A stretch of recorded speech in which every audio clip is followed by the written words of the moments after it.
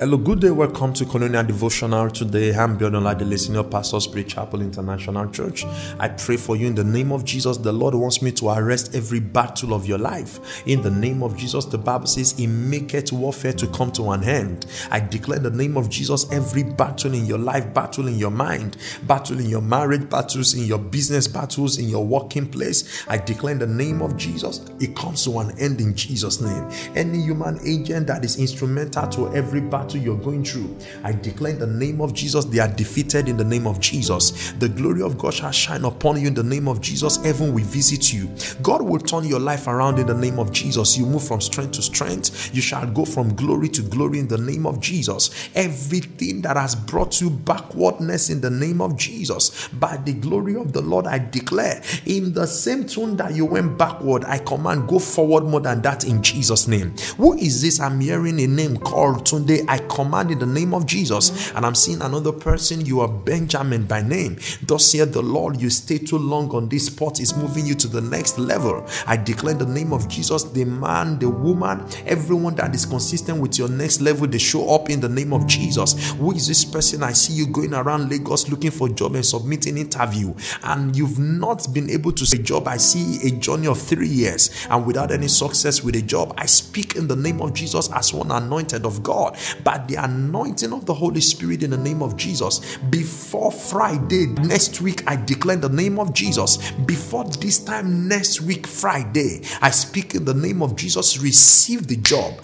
In the name of Jesus, receive a call of joy by the power of the Holy Spirit in Jesus' name. I speak in the name of Jesus. Every form of cancer, I command it to die in Jesus' name. I declare in the name of Jesus, growth in your body disappears. In the name of Jesus, the glory of God God shall mount to you. Listen to me. I prayed two weeks ago. I prayed for someone who came and had a severe case of HIV, and the, the doctor said, okay, this one had moved to AIDS, and um, the body was already reacting and getting bad. And guess what? We committed it to prayer, and God showed up within two days. By the power of the Holy Spirit, there was a total reversal of everything that had gone bad. She went back for tests, and guess what? By the glory of God, she was declared HIV HIV negative. I'm using this at the point of contact to pray for someone here. Everyone with a blood condition in the name of Jesus. I declare be healed in Jesus' name. Who is having severe headache? I command be healed in the name of Jesus. Everyone sitting upon your promotion that is saying you will not get what is supposed to come to you.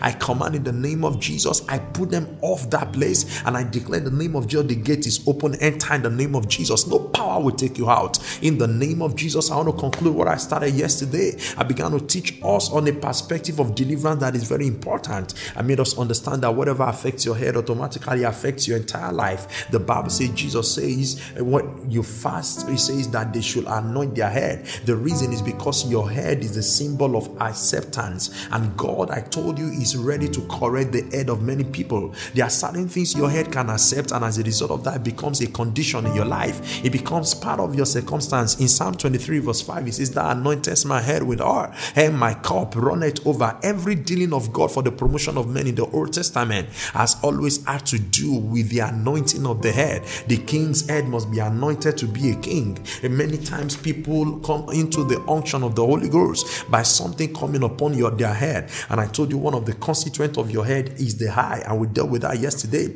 Another very powerful thing in your head that the devil always loves to tamper with is something that is called the mouth. The Bible says in Habakkuk Habakkuk chapter 2, verse 1, I will stand upon my watch and set me upon the tower, and I will watch to see what he will say unto me, and what I shall answer when I am reproved. Praise God. The eye is for vision, and your mouth is for expression. But understand this what you visualize but don't verbalize, God is not going to actualize. And that's why the Bible says when you read in Matthew chapter 11, when you read from verse 23, the Bible says, What things soever you desire when you pray, he says, Believe that you receive them and you shall have them. That's verse 24. But I love the way verse 23 puts it according to the KJV. The Bible says in Mark chapter 11 from verse 23 to 24, It says, What things soever you desire when you pray, believe that you receive it and you shall have it. It says that whosoever shall say unto this mountain, Be thou removed and be thou cast into the sea, and shall not doubt in his heart, but shall believe that those things which he saith shall come to pass, he shall have whatsoever he saith. The Bible says, The Bible says, He shall have whatsoever he saith, not what he prayed. In other words, what you are praying must be the same with what you are saying. You must always say exactly the things you're praying. Many people are praying, but they speak against the content of their prayer through their confession.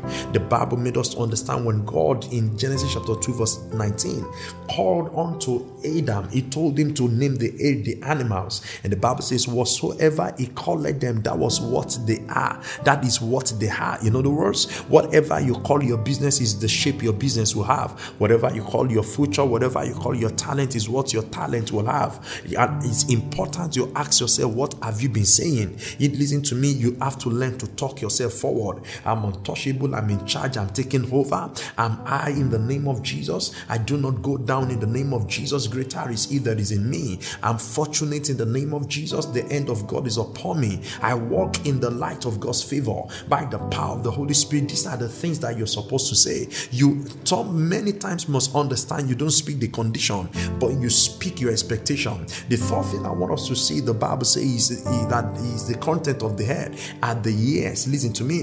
The Bible says, Blessed are your years for the year these things. There are things God wants you to hear, and I pray for you that God shall open your ears to hear in the name of Jesus. I declare this day in the name of Jesus, whatever has affected the glory on your face, in the name of Jesus, any spirit that has tampered with the glory on your life, it catches fire in the name of Jesus. God will open your eyes in the name of Jesus. You will be seen and you will see what you're supposed to see in the name of Jesus. God bless you and have a wonderful day ahead in the name of Jesus. I call you blessed in Jesus' name. You want us to pray with you? You can reach me on 00637 either by SMS or through WhatsApp. God bless you in Jesus' name.